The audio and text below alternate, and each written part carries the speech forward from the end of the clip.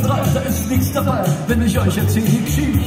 Aber immer ganz persönlich, bei Facebook läuft das nicht. Auch bei Instagram macht mich gar nichts an, das lass ich lieber sein.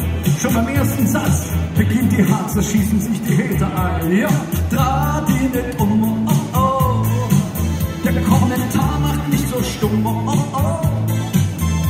Egal wie zuckersüß du bist, der Pöbel wünscht dir den Rest und noch die Pest. Ja, trag ihn nicht um, oh oh. oh. Der Kommentar, der macht dich stumm, oh oh. oh.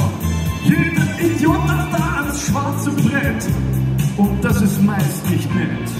Das sind wir lieber netter und schreiben ein Letter, denn wir wissen ja, wer schreibt, der bleibt in Erinnerung. Servus, Papa, macht's gut in Hamburg. Papa, servus die Baden, Dankeschön. Muss ja mal loslegen jetzt hier, Dankeschön. Ja, das war zum Warmwerden, aber ich sage Ihnen was, Sie stehen am sichersten Ort der ganzen Passage. Wissen Sie das eigentlich? Ja, hier ist ein Ehepaar. Ich nehme an, Sie gehören, also man muss schon sagen, also die, die Jacken habt ihr zusammen gekauft, oder? Nein, doch nicht, echt nicht. Darf ich mal Vornamen? Du bist die? Ulla und?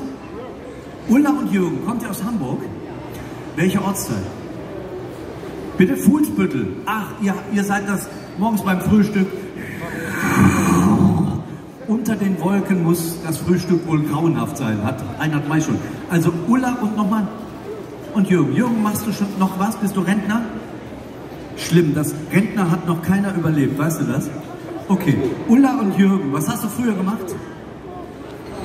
Okay, gut. Ulla und Jürgen aus Fuhlsbüttel. Warum frage ich das? Weil ich ein Wunder äh, vollbringe. Ich sende jetzt einen, habe einen direkten Draht zu unserem Gesundheitsminister.